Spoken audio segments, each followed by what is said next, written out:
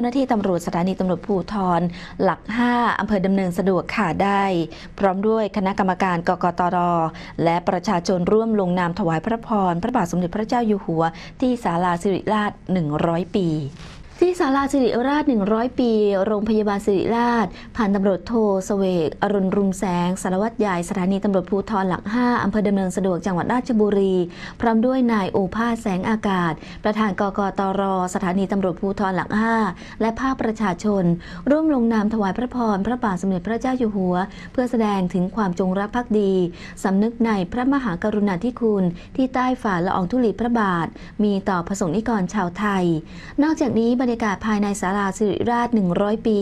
ยังมีพระสงฆ์นิกรทุกหมู่เหล่า ทยอยเดินทางมาร่วม ลงนามถวายพระพรแด่พระบาทสมเด็จพระเจ้าอยู่หัวอย่างต่อเนื่อง ซึ่งขณะนี้มีผู้ร่วมลงนามถวายพระพรเฉพาะที่โรงพยาบาลสิริราชแล้วกว่า 1 ล้านรายชื่อ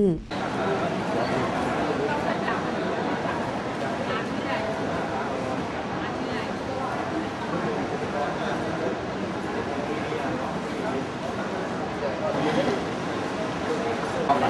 ะ